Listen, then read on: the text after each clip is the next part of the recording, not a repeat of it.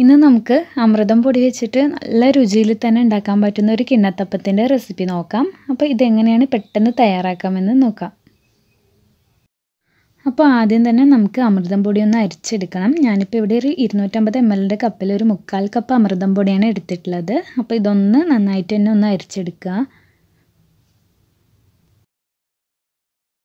ഇപ്പോൾ ഇത് നന്നായിട്ട് അരിച്ചെടുത്തിട്ടുണ്ട്. അപ്പോൾ ഇതിൽ നല്ല തരി ഉണ്ടാവും അതുകൊണ്ടാണ് അരിച്ചെടുക്കാനായിട്ട് പറയുന്നത്.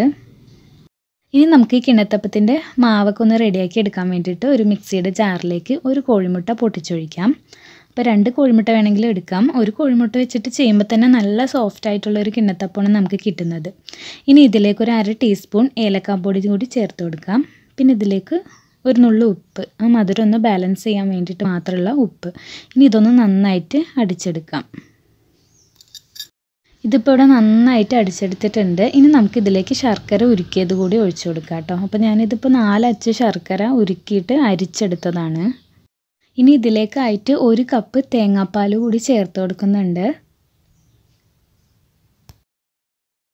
ഇനി ഇതിലേക്ക് നേരത്തെ നമ്മൾ അരിച്ച് വെച്ചിട്ടുള്ള അമൃതം പൊടി കൂടി ചേർത്ത് കൊടുക്കാം. മുഴുവനായിട്ട് ചേർത്ത് കൊടുത്തിട്ട് അടിച്ചെടുക്കാം. അപ്പോൾ അമൃതം പൊടിയിൽ കുറച്ച് മധുരം ഉണ്ടാവും. അപ്പോൾ ശർക്കര ചേർക്കുമ്പോൾ നോക്കിയിട്ട് ചേർക്കുക കേട്ടോ നിങ്ങൾക്ക് എത്രത്തോളം മധുരം വേണം അതിനനുസരിച്ച് ശർക്കര ഉരുക്കിയത് ചേർത്താൽ മതി. ശർക്കരയ്ക്ക് പകരം പഞ്ചസാര വേണമെങ്കിലും ചേർക്കാം. ഇനി ഇതൊന്ന് അടിച്ചെടുക്കാം.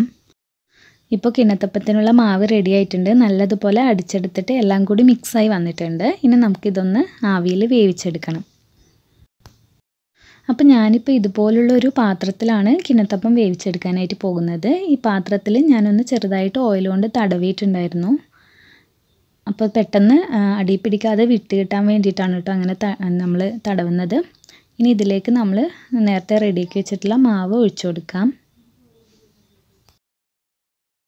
അപ്പോൾ ഇഡ്ഡലി പാത്രത്തിലാണ് ഞാനിത് ആവി കയറ്റി എടുക്കാൻ പോകുന്നത്. അപ്പോൾ നമ്മൾ ഇഡ്ഡലിയൊക്കെ ഒഴിക്കുന്ന ആ പാത്രം കമഴ്ത്തി വെച്ചിട്ട് അതിന് മുകളിലേക്കായിട്ടാണ് വെച്ച് കൊടുക്കുന്നത്.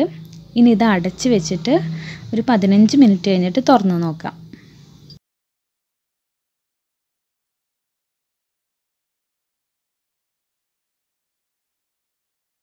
അപ്പോൾ നമ്മൾ ഇത് മുഴുവനായിട്ട് വേവിച്ചെടുക്കുന്നതിന് മുമ്പ് ഞാനിപ്പോൾ ഒരു എട്ട് മിനിറ്റൊക്കെ കഴിഞ്ഞിട്ടുണ്ടാവും. ഒന്ന് തുറന്ന് നോക്കിയിട്ട് അതിന് മുകളിലേക്കായിട്ട് കുറച്ച് ബദാം ഇതുപോലെ രണ്ടായിട്ട് കട്ട് ചെയ്തത് വെച്ച് കൊടുക്കുന്നുണ്ട്. അപ്പോൾ ഇത് വെന്തിട്ടില്ല കേട്ടോ. നിങ്ങൾക്ക് തൊടുമ്പോൾ അറിയും. മേൽഭാഗം മാത്രം ഒന്ന് ചെറുതായിട്ട് വെന്തിട്ടേ ഉള്ളൂ. ഉൾവശമൊക്കെ നന്നായിട്ട് വേവാനുണ്ട്. അപ്പോൾ ഈ ബദാമിന് പകരം നിങ്ങൾക്ക് എന്ത് നട്ട്സ് വേണമെങ്കിലും വെച്ച് കൊടുക്കാം. റേസിൻസോ കാഷ്യൂസോ ഒക്കെ നെയ്യിൽ വറുത്തിട്ട് അങ്ങനെ വേണമെങ്കിലും വെച്ച് കൊടുക്കാം കേട്ടോ. ഈ സമയത്ത് വെച്ച് കൊടുക്കുമ്പോൾ അതിലങ്ങോട്ട് പിടിക്കും. അതുകൊണ്ടാണ് ഇപ്പോൾ വെച്ച് കൊടുക്കുന്നത്. ഇനി ഇത് അടച്ചു വെച്ചിട്ട് ബാക്കി നമുക്ക് കുക്ക് ചെയ്യാം.